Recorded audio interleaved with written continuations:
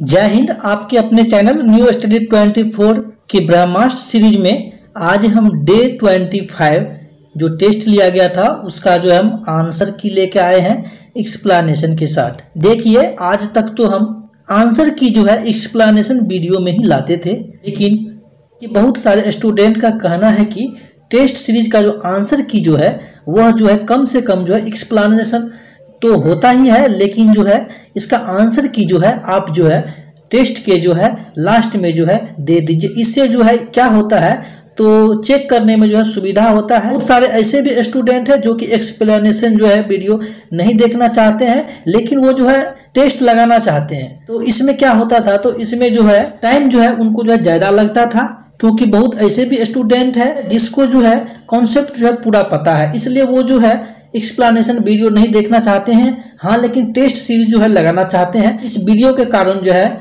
रात वाला जो वीडियो में हम आंसर की लेकर आते थे। इसलिए हम लोग भी जो है, इस पर बहुत विचारे और ये डिसाइड किए हैं कि अब कल से जितना भी वीडियो आएगा टेस्ट सीरीज़ का चार बजे शाम में। उसका जो आंसर की जो है, वीडियो के समाप्त होते ही जो है, उसका जो आंसर की जो है, रिलीज़ किया जाएगा। लेकिन एक्सप्लानेशन वीडियो जो है, आएगा। जो स्टूडेंट जो है कॉन्सेप्ट उसका क्लियर नहीं है, उसके लिए जो है एक्सप्लानेशन जो है, वीडियो जो है, आता ही रहेगा।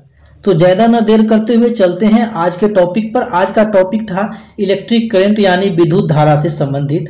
और विद्युत धारा से संबंधित जितने भी क्वेश्चन इंपॉर्टेंट थे, सारे इस टेस्ट सीरीज़ में दिया गया था तो उसका हम एक्सप्लानेशन करने वाले हैं आंसर की के साथ। तो देखिए, आज का फ़र्स्ट क्वेश्चन था, पंखे की रफ्तार किस पर निर्भर रहती है?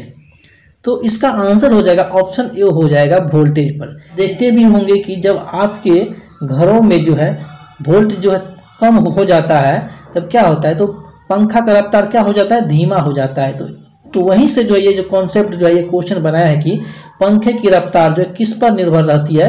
तो इसका आंसर क्या हो जाएगा? ए हो जाएगा।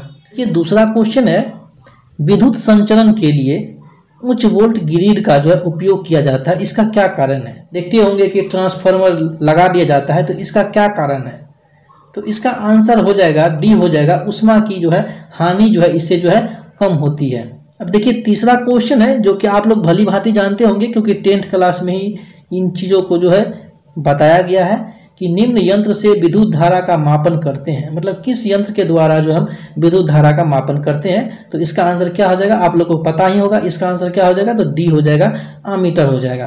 अब देखिए चौथा क्वेश्चन है, यह भी जो आप लोग को शायद हो सकता है कि आप लोग को पता हो कि डायनेमो वह यंत्र है जो निम्न को परिवर्तित करता है। मतलब बोल है, किसको जो है किसमें परिवर्तित कर देता है तो इसका आंसर क्या हो जाएगा? यह जो है आंतरिक ऊर्जा को जो है वैद्युत ऊर्जा में जो वर्तित करती है। कैसे? तो देखिए, जब डायनमो चलता है तो क्या होता है? आप देखे होंगे कि जो पुराने जमाना में जो पंपिंग सेट के मशीन में जब डायनमो लगाया जाता था, क्या होता था? तो वो रनिंग करता है। रनिंग करने से क्या होता है? तो वहाँ पर जो है, इलेक्ट्रिसिटी जो है, क्रिएट होता है। तो इसलिए जो है इसका आंसर क्या हो जाएगा? तो यांत्रिक ऊर्जा मतलब वो गति में रहता है, वो कार्य करता है घुटन करता है और उसके कारण जो क्या करता है? तो वो जो है इलेक्ट्रिसिटी को जो है पैदा करता है। तो इसलिए इसका आंसर क्या हो जाएगा? बी हो जाएगा। देखिए, पांचवा क्वेश्चन है, विद्युत धारा निम्न में से किस उपकरण से नापी जाती है? तो ये भी है वही क्वेश्चन किससे नापा जाता है? तो आपको भी पता है कि ये आमीटर के द्वारा ही जो है नापा जाता है। देखिए, छठा क्वेश्चन है, विद्युत शक्ति की इकाई है। मतलब यूनिट पूछ रहा है कि विद्युत शक्ति मतलब इलेक्ट्रिक पावर जो है इलेक्ट्रिक पावर का जो है मतलब यूनिट क्या है? तो इसका आंसर क्या हो जाएगा? तो डी है। क्यों? क्योंकि इसको जो है मापन जो करते हैं तो इसको कौन चीज़ में मापन करते हैं? तो इसको जो है किलो वाट में मापन करते हैं तो इसलिए इसका आंसर क्या हो जाएगा? डी हो जाएगा वाट हो जाएगा। अब देखिए, सातवां क्वेश्चन है विद्युत मोटर में। और डैश डैश दे दिया है। बोल रहा है कि ऑप्शन के अनुसार बताइए, क्या होगा? तो क्या होगा? तो इसका आंसर सी हो जाएगा। विद्युत मोटर क्या करता है? तो विद्युत ऊर्जा को जो यांत्रिक में बदल देता है, आप देखे होंगे कि विद्युत मोटर लगा रहता है, जैसे पंखा हुआ तो पंखा क्या हुआ? एक तरह का विद्युत मोटर हुआ। इसमें जब इलेक्ट्रिक करंट देते हैं तो क्या करता है? विद्युत ऊर्जा जो है, यांत्रिक ऊर्जा में मतलब गति में आ जाता है। तो इसलिए इसका आंसर क्या हो जाएगा? सी हो जाएगा। ये आठवां क्वेश्चन है, एक ओम बराबर एक वोल्ट रिक्त स्थान की पूर्ति करो। तो देखिए, वैसे तो ब्लैक बोर्ड है नहीं तो हम ऑडियो के माध्यम से ही समझाना चाहेंगे कि देखिए, यहाँ पे बोल रहा है एक ओम बराबर एक बोल्ट मतलब ओम का जो है वैल्यू जो वो फिक्स कर दिया है, बता दिया है कि एक बोल्ट है। और ओम का जो नियम है, उसका कहना है कि किसी परिपथ में बहने वाली धारा जो है, चालक के सिरों का क्या होता है? विभुवांतर का जो है समानुपाती होता है, यानी प्रपोर्शनल होता है, जो होता है भी बराबर आई आर होता है। और यहाँ पे आपको बोल दिया है कि वोल्ट दे दिया है। कितना दे दिया है? तो एक दे दिया है, इसलिए इसका आंसर क्या हो जाएगा? तो एक जो है, इसका एम्पियर हो जाएगा। आंसर नंबर ए हो जाएगा। अब नवा क्वेश्चन है, विद्युत मोटर एक युक्ति है, जो कि विद्युत ऊर्जा को ऊर्जा को मुख्यतः ऊर्जा में परिवर्तित करता है। मतलब बोल रहा है कि किस ऊर्जा में जो परिवर्तित कर देता है विद्युत ऊर्जा को। तो इसका आंसर हो जाएगा सी हो जाएगा, यांत्रिक ऊर्जा को। अभी तुरंत ही देखें कि विद्युत मोटर क्या करता है, जब उसमें जो है हम करंट देते हैं तो क्या करते हैं, वो घूर्णन करने लगता है, यानी यांत्रिक ऊर्जा में आ जाता है तो इसलिए इसका आंसर क्या हो जाएगा? सी हो जाएगा। दसवां नंबर का क्वेश्चन है डायनेमो अब बोल रहा है कि ऑप्शन से बताइए। ऑप्शन नंबर ए था, विद्युत ऊर्जा को गतिज ऊर्जा में बदलता है, यांत्रिक ऊर्जा को वैद्युत ऊर्जा में बदलता है। वैद्युत ऊर्जा को यांत्रिक ऊर्जा में बदलता है और डी यांत्रिक ऊर्जा उत्पन्न करता है। तो इसका आंसर हो जाएगा बी हो जाएगा, यांत्रिक ऊर्जा को जो है वैद्युत ऊर्जा में जो है डायनेमो जो है बदल देता है। अब आइए देखते हैं, ग्यारहवा क्वेश्चन है, बिजली की खपत का बिल किसके मापन पर आधारित होता है? तो देखिए, हम बताए थे कि बिजली का बिल जो है, वो किस प्रकार लेता है तो वो एक मेज़रमेंट होता है, एक हज़ार किलो वाट अगर आपका जो है, एक हज़ार किलो वाट हो जाएगा मापन मेज़रमेंट करके तो उसको जो है, एक यूनिट बोला जाता है। तो उसी यूनिट के अनुसार लेता है।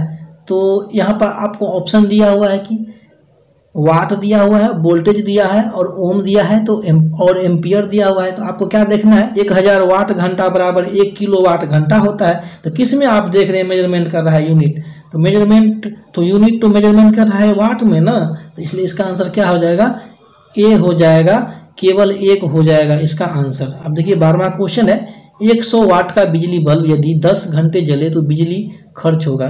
मतलब बोल रहा है कि इसका आंसर क्या हो जाएगा? इसका आंसर हो जाएगा बी हो जाएगा एक इकाई। अब बोलिएगा कि कैसे हुआ? तो देखिए 100 वाट दे दिया है कि 100 वाट का बिजली बल्ब। मतलब 100 वाट का बिजली बल्ब है और वो 10 घंटे चलता है। तो आप इसको क्या करिए? मल्टीप्लाई कर दीजिए। तो कितना हो गया? 100 सौ इंटू टेन हो गया। कितना? तो एक हज़ार हो गया। एक हज़ार जो है वाट घंटा हो गया। अब इसको क्या करिए तो आप कन्वर्ट कर दीजिए। एक हज़ार वाट घंटा जो हुआ तो आप इसे हम क्या बोल सकते हैं? तो एक किलो वाट घंटा बोल सकते हैं। और आपको पता है कि एक किलो वाट घंटा को कितना माना जाता है? तो एक यूनिट माना जाता है। तो इसलिए इसका आंसर क्या हो जाएगा? एक यूनिट हो जाएगा। तो इसको हिंदी में लिखा गया है बी नंबर ऑप्शन में कि एक इकाई तो इसलिए इसका आंसर जो है बी हो जाएगा। देखिए, तेरहवा नंबर का क्वेश्चन है टर्बाइन व डायनेमो से बिजली प्राप्त करने में किस ऊर्जा को विद्युत ऊर्जा में जो परिवर्तित करते हैं?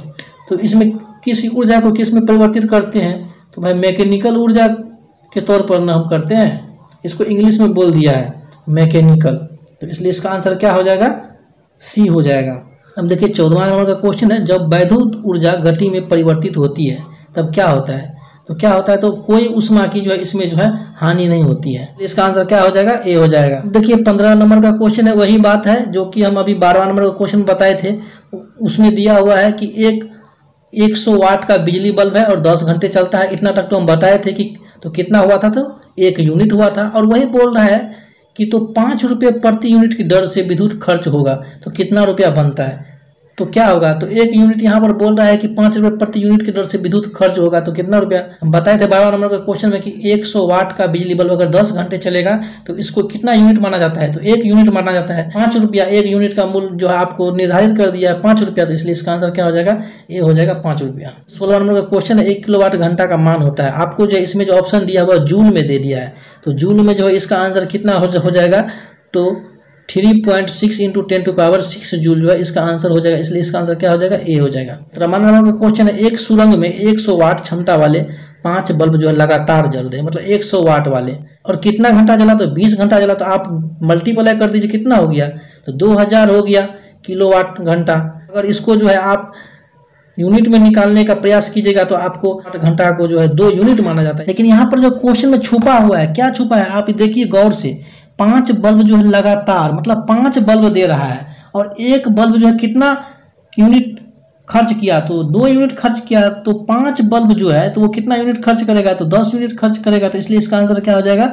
सी हो जाएगा। देखिए अठारवा क्वेश्चन है डायनेमो जिसे बिजली उत्पादन हेतु कथित रूप से प्रयोग में लाते हैं, वह वास्तव में मतलब बोलता है कि क्या करता है? तो इसका आंसर हो जाएगा, ऊर्जा का जो, वह जो है परिवर्तक होता है। मतलब जो ऊर्जा को जो है, वो जो चेंज कर देता है। किसमें? तो यांत्रिक से जो है, वो जो विद्युत में जो चेंज कर देता है तो इसलिए इसका आंसर क्या हो जाएगा? सी हो जाएगा। देखिए, उन्नीसवां क्वेश्चन है डायनेमो परिवर्तित करता वही बात। इसका आंसर हो जाएगा यांत्रिक ऊर्जा को जो है, विद्युत ऊर्जा में। ऑप्शन नंबर सी बीसवा क्वेश्चन है, विद्युत ऊर्जा को यांत्रिक ऊर्जा में बदलने वाली युक्ति को क्या कहा जाता है? तो इसका आंसर हो जाएगा विद्युत मोटर कहा जाता है। तो इसलिए इसका आंसर क्या हो जाएगा? सी हो जाएगा। अब देखिए, इक्कीसवा क्वेश्चन ऐसा उपकरण जो रासायनिक ऊर्जा को विद्युत ऊर्जा में परिवर्तित कर दे, वह क्या कहलाता है? तो इसका आंसर हो जाएगा ए, हो जाएगा बैटरी। देखिए, बैटरी में जो है आप देखे होंगे कि उसमें जो है इलेक्ट्रोड होता है और इलेक्ट्रोड के बीच में जो है कुछ जो है भरा रहता है। उसी इलेक्ट्रोड के कारण जो है उसमें जो है क्या होता है तो रासायनिक क्रिया होता है। रासायनिक ऊर्जा को जो है वो क्या कर देता है तो विद्युत में जो है कन्वर्ट कर देता है। तो इसलिए इसका आंसर क्या हो जाएगा? ए हो जाएगा बैटरी। देखिए बाईसवा नंबर का क्वेश्चन है, कम वोल्टेज पर कार्य करने पर विद्युत मोटर जो प्राय जल जाती है मतलब क्या कारण है?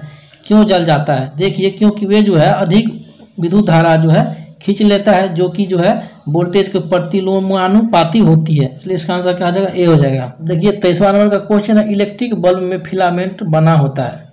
मतलब बोल रहा है कि ये जो विद्युत बल्ब जो है, उसमें किस चीज़ का जो फिलामेंट बना होता है? आप लोग को पता ही होगा, इसका आंसर क्या हो जाएगा? ए हो जाएगा टंगस्टन का जो है लगा रहता है, उसमें फिलामेंट देखिए, चौबीसवा नंबर का क्वेश्चन है, जलते हुए विद्युत बल्ब के तंतु का ताप समानता कितना होता है? तो इसका जो ताप जो होता है, वो जो समानता होता है 2000 डिग्री सेल्सियस से जो 25 पच्चीसवा नंबर का क्वेश्चन है, विद्युत उपकरणों में अर्थ का उपयोग होता है। अब ये अर्थ मतलब ये धन नहीं हुआ। यहाँ पे बोल रहा है, अर्थिंग के बारे में पूछ रहा है। मतलब क्यों उपयोग होता है? तो ये जो है, सुरक्षा के दृष्टिकोण से जो है, इसका जो है उपयोग किया जाता है। इसका आंसर हो जाएगा सी हो जाएगा। अब छब्बीसवा नंबर का क्वेश्चन है, मेंज विद्युत पर्दाय में फ्यूज का प्रयोग एक सुरक्षा युक्ति के रूप में होता है। फ्यूज के विषय में निम्नलिखित कथनों में से कौन सा कथन सही है? तो इसका आंसर हो जाएगा, सी हो जाएगा। देखिए, इसका गलनांग जो है, निम्न जो है, इसके लिए जो है, होना आवश्यक है। देखिए, इस सत्ताईसवा क्वेश्चन है, फ्यूज में प्रयुक्त होने वाले तार की विशेषता होती है। मतलब क्या विशेषता है? जो तार जो होती है, उसमें फ्यूज में मतलब क्यों डाला जाता है? तो देखिए, फ्यूज में जो तार जो होता है, उसका गलनांक जो है, निम्न होता है और प्रतिरोध जो है उसका हाई होता है, यानी उच्च होता है। और इससे क्या होता है? तो वोल्टेज बढ़ने पर क्या होता है? तो फ्यूज का तार जो तुरंत गल जाता है। इससे क्या होता है? तो हम जितने भी वायरिंग वूरिंग किए रहते हैं, दीवार में जो है वो जो है उसका जो तार जो है वो जो है नहीं गल पाता, यानी नष्ट होने से जो है बचा देता है। इसलिए जो हम सुरक्षा फ्यूज का जो है युक्त यूज़ करते हैं। अब देखिए, अट्ठाईसवा नंबर का क्वेश्चन है, घरेलू विद्युत तार स्थापन मूलतः मतलब बोल रहा है कि किस तरह जो है बनाया जाता है? मतलब किस श्रेणी में जो है जम बनाया जाता है? तो इसका आंसर क्या हो जाएगा? समांतर जो है श्रेणी में जो है उसको जो है बनाया जाता है। देखिए उनतीसवा नंबर का क्वेश्चन है घरेलू विद्युत सप्लाई के दौरान काले रंग का आवरण युक्त तार है। बोल रहा है कि घरेलू विद्युत में जो आपका जो तार लगा हुआ है उसमें एक देखते होंगे लाल रंग का रहता है और एक दे, एक देखते होंगे काला रंग का तार। तो वही बोल रहा है कि वो काले रंग का तार जो है वो कौन सा तार होता है? तो वो जो है उदासीन तार होता है। अब देखिए, तीसरा नंबर का क्वेश्चन है, समान ट्यूब लाइट में कौन सी गैस होती है? तो आपको पता ही होगा, इसका आंसर हो जाएगा सी हो जाएगा ऑर्गन के साथ, जो इसमें जो है मरकरी भी होता रहता है। अब देखिए, आप फुल फॉर्म पूछ दिया, इकतीसवा नंबर का क्वेश्चन सी एफ़ एल का पूरा नाम क्या है? तो सी एफ़ एल का पूरा नाम क्या होता है? तो कॉम्पैक्ट फ्लोरिसेंट लैंप होता है। तो इसको जो है आपको याद रखना है। देखिए, बत्तीसवा क्वेश्चन है फ्लोरेसेंट ट्यूब में कौन सी गैस भरी जाती है? तो कौन सी गैस भरी जाती है? मरकरी और नियोन जो है गैस जो है, भरी जाती है। तैतीसवा क्वेश्चन है, एक तार में बहती विद्युत धारा एवं विभवांतर प्रत्येक का दो गुना बढ़ा दिया जाए तो विद्युत शक्ति पर जो है क्या प्रभाव पड़ेगा? तो क्या हो जाएगा? तो चार गुना जो है बढ़ जाता है, क्योंकि जो ये क्या होता है? तो प्रोपोर्शनल होता है तो इसलिए इसका आंसर क्या हो जाएगा? गुना जो है बढ़ जाएगा।